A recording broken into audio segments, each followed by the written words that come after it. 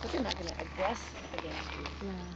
I got too near to a pond in the Seattle Arboretum that had one of these guys in it, and it chased me for like 10 feet. Holy cow. It came out of the water just hissing and snarling and making these awful screeching noises, and it chased me. And I am very certain that if I had stopped before it did, Mhm. I would it would have been up my leg.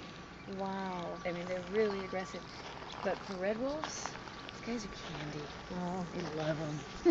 so now Alligator River has way fewer nutria. Other places are starting to say, we'll take red wolves. It's that whole, again, apex predator thing. Mhm. But there aren't enough red wolves and there's not enough land to. Wow! They took your green thing apart. and you're actually standing. It must be close to dinner time.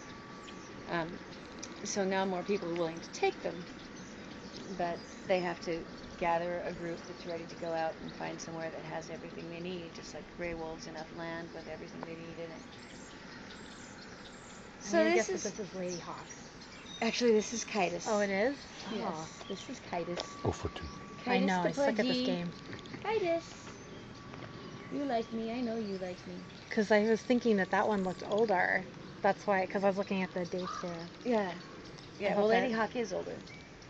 Oh, She was born in 2000. and Chitus was born in oh, 2007. you're right. Oh, okay. I do that too. I meant that. Okay. I reverse things all the time.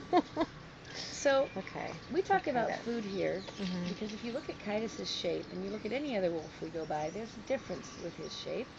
So it looks a little. You look like you've lost some weight, buddy.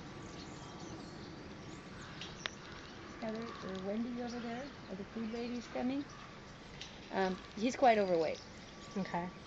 Um, he was raised by a young man in, in uh, up in Minnesota, and they got along great. The young man was military. He liked living out away from people, Mhm. so they lived several miles from the nearest house. So Kitus had a lot of room to run around and do his own thing without scaring anyone half to death. Oops. Ah. And uh, yeah, Michael, there's a. Mm.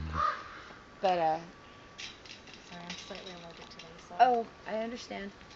Um, I mean, I won't like die or anything, but I'll swell up and it, I have to take a Benadryl and go to sleep. Yeah.